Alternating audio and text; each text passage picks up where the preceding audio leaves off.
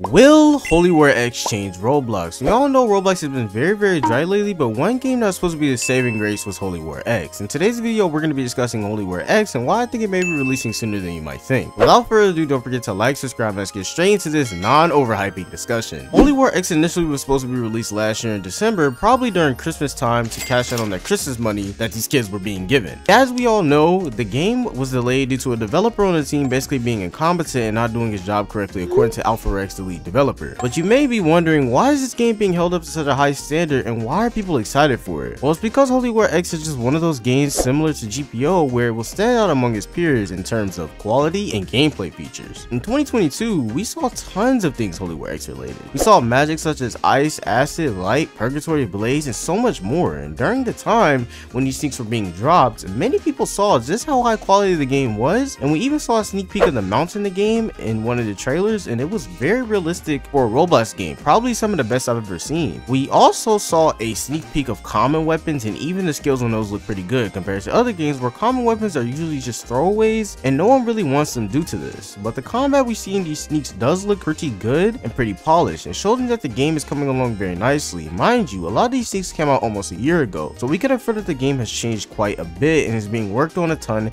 since seeing the initial sneaks of the game. Along with seeing things like the customization menu, which was very in-depth, we even seen the initial startup screen for the game, so tons of the groundwork for the game is mostly done. We got confirmation of modes such as story mode and different game modes for the game. The different modes within the menu sort of remind me of Shinobi Life 2, where you had story, RPG mode, and PvP all within the game, and were separated in different modes within the screen. And they also showcase that the game will have a spinning system, which, ah, you know, I don't really like spinning systems, but that's okay. They also showed a deep dive on the customization with your character and the confirmation of different types of game passes. The clothing looked great as well since they are utilizing 3D clothing instead of the basic 2D clothing most games use. In a video made 7 months ago, Alphirex stated the main reason why the game was initially delayed was because they wanted to make sure the game was high quality and was up to their standard, which is great news for us players because let's be honest, we have been receiving garbage all 2023. So when Holy War X releases, we know that this game will be something that the developers really wanted to release. Some things happen and delays happen, but I'm just glad that they are being transparent about it and didn't disappear on us like most developers. Alphirex, the lead developer, also took complete accountability for this delay, even though it wasn't even his fault, so I thank him for that. The last thing we saw from the lead developer himself was four months ago, where he confirmed that yes, a lot of the combat and skills were being reworked. We saw the different reworked skills for the weapons in the game, we also heard some news about aerial combat, where we'll have your basic things such as down slams, laddering, and just combo extenders in the air. One thing I like about Holy War X is the versatility when it comes to the weapons in the game, from heavy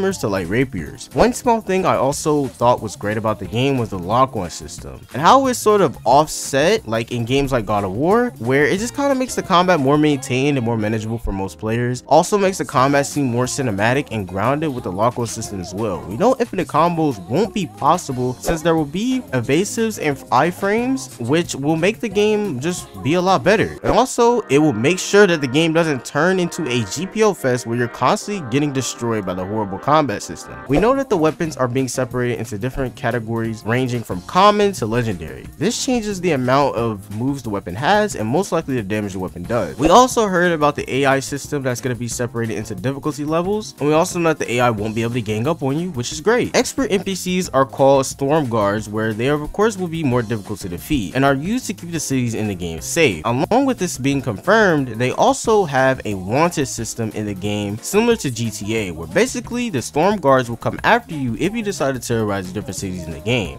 I really like this system because it makes the game feel more immersive and allows for more role-playing elements in the game since a lot of games don't have this it makes the game feel a lot more unique. Along with the weapons, we got the confirmation of the fighting styles that are going to be in the game including Meliodas and probably other fighting styles from the show as well. Another thing that was confirmed alongside this was a stealth system which if done incorrectly could be really bad but if done correctly it could be really good. So I'm really excited for this because I've never seen this done before in a Roblox anime game. Now on to some more recent news about the game. We know that for the testing for Holy War X has pretty much already started since YouTubers like Revolver Ags and Slykage were able to test the game and give more information on the release and other gameplay features. Revolver was one of the first people to test the game. In one of his videos earlier this year, we saw him PvPing against Alphirex and the combat looked great and even more polished and with a few things being unfinished, so we know that the game is being steadily developed still. We know the game will have emotes like this is Fortnite or something, not even sure why that was even added. We also got a little peek at the map, which to me looked very well built. The only thing about the map was how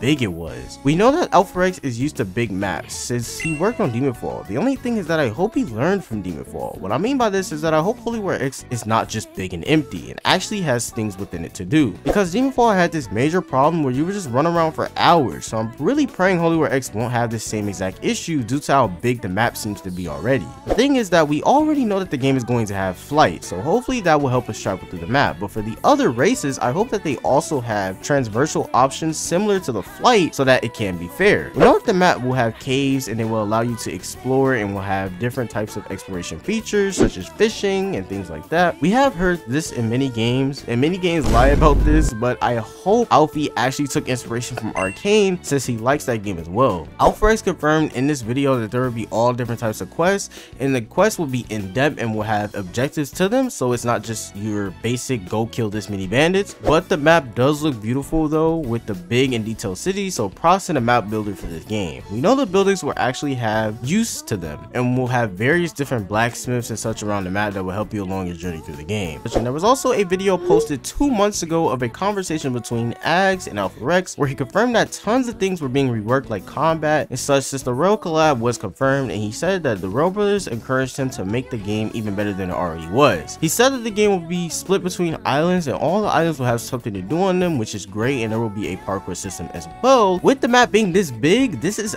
very very important. One of the biggest things said was that the game is going to be on all platforms, even VR, so they are focusing on optimizing the game properly so it can run on all these platforms. Rell Seas and Holy War X collab will work through connected events with both games and will have joint updates where rewards will be shared between each game. Now like I said, Sly Kage was also able to test the game. Sly stated that Alfie wants to go above and beyond with just works, which means he wants the game to be the absolute best and wants it to stay alive for a long time and not just take his bag and leave like most developers. We also heard that the game will not just be a 7 Deadly Sins game, but will feature many different things from all different types of anime, which is pretty good in my opinion because I personally think 7 Deadly Sins is horrible. It's pretty cool that they're adding other stuff. I just hope it's not like a Shindo life situation where it's absolutely terrible and there's all different types of stuff and the game's a mess. So now the question is, can Holy War X change Roblox and will it be releasing soon? Well, about the release, Alfie stated that they are aiming for a summer release, so that is really soon since June has already ended and we are well into summer now. Also with various different people testing the game, we could assume that Alfie is preparing to let more people test and play the game leading up to its eventual public release, which will probably be really soon. He even stated in this comment recently that the game will be trying for a summer release. Now, can the game change Roblox really depends on if Alphirex can live up to all the promises he has made on the game. Because if he actually follows through, I can see this game and Rell Seas changing the landscape of anime Roblox community for a long time. We will just have to see when the game finally releases. We know that you can test the game if you decide to buy the premium tester spot, which is